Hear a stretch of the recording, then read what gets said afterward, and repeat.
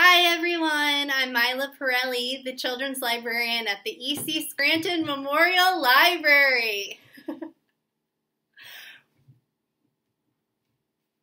we are here to tell you about our new podcast called Scranton Talks, the official podcast of the EC Scranton Memorial Library.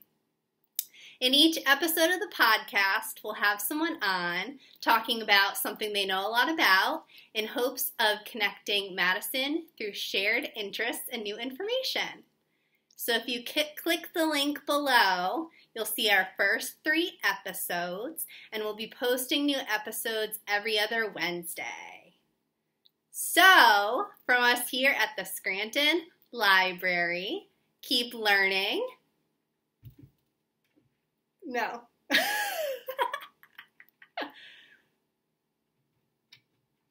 and